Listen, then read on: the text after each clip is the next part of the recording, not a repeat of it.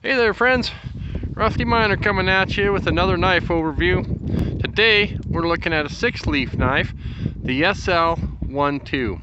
This knife was provided by me to me by an Amazon seller, Tangli.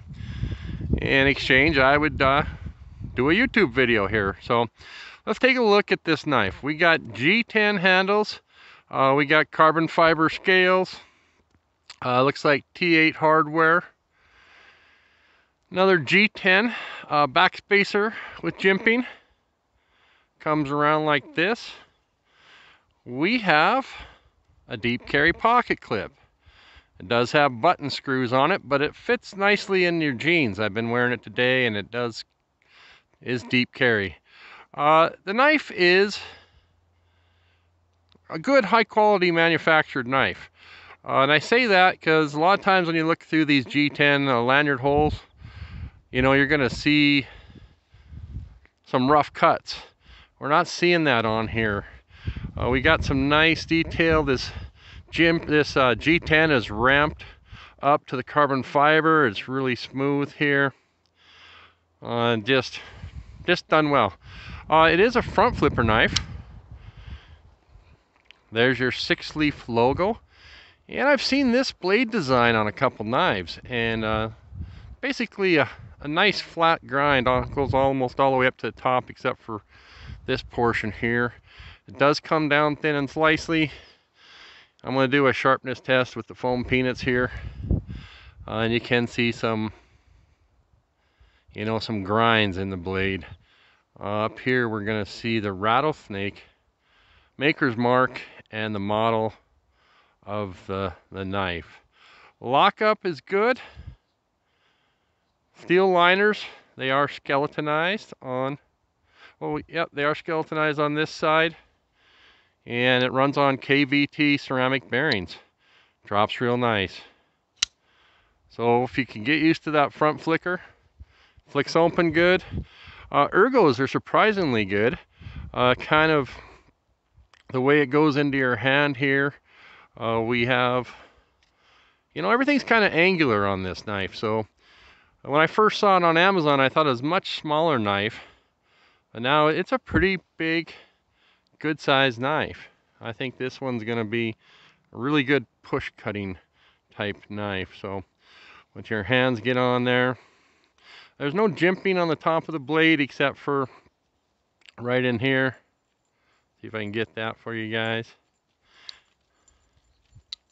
So stick around for the cut test. Oh, by the way, one thing I missed out in the field was the centering uh, and just the general uh, fit here.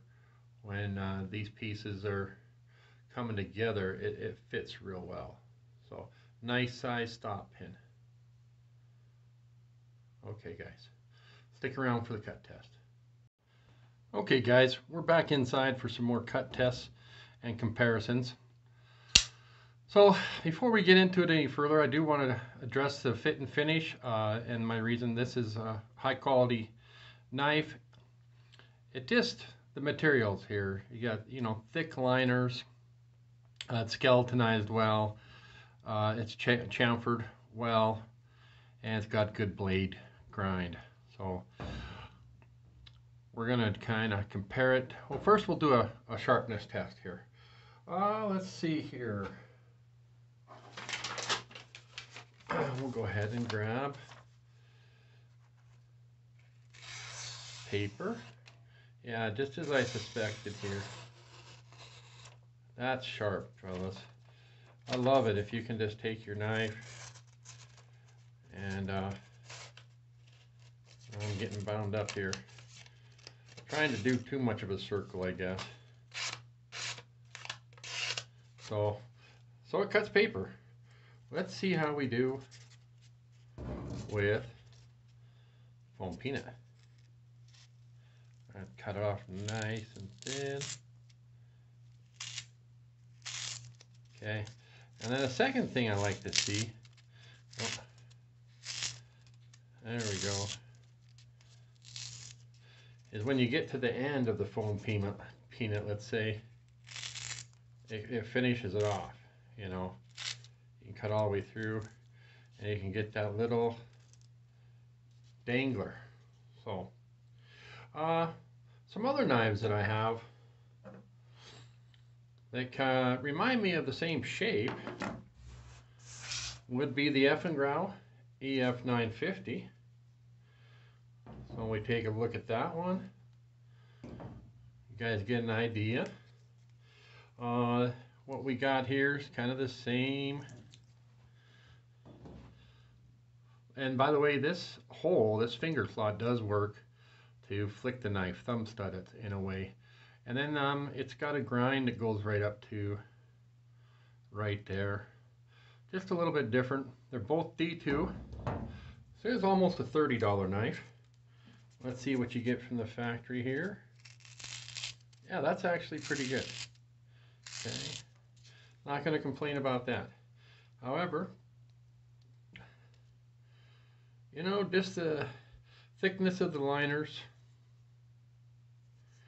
uh, the materials, uh, this is just a, a better knife. And this one runs, by the way, around $50.